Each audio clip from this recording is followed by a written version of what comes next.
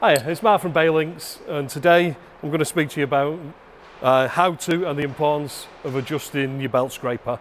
So your, your rear belt scraper is located inside your mixing bowl and it literally touches up onto the underside of your belt and the idea is that as your belt's coming round any residual bits that haven't dropped into your bowl get pushed off the belt by this and it stops material carrying along the underside of your mixer and leaving a mess on the road.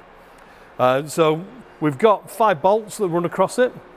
And to adjust it, what you need to do is just slacken these bolts and then you should be able to just tap the rubber up from underneath back so it's literally just touching the underside of the belt again.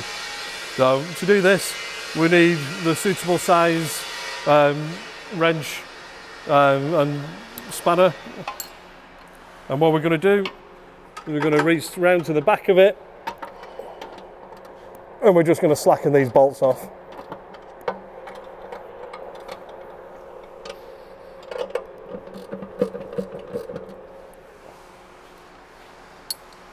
From there, we'll get some kind of a, a hammer and we're just going to literally tap up on the rubber. Uh, once we're happy with the position of it, we can then retighten the bolts again. Uh, so when should you adjust this? Uh, basically, when you're getting brand new, we should have uh, a little while before we have to look at it.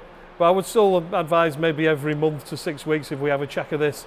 Check we're not starting to build any gaps either side of it. Uh, the better you can keep this, the less you're going to infuriate your customers when you're turning up and spilling material all down the driveways.